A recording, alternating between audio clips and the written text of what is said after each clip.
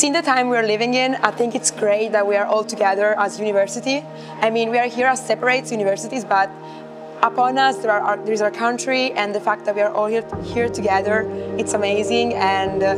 I'm really honored to be here because it's uh, really important for,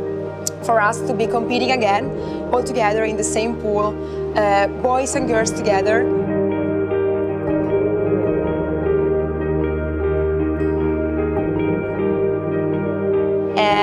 FISU has been amazing protecting us and uh, make us feel at home and make, making us feel like uh, uh, the old times.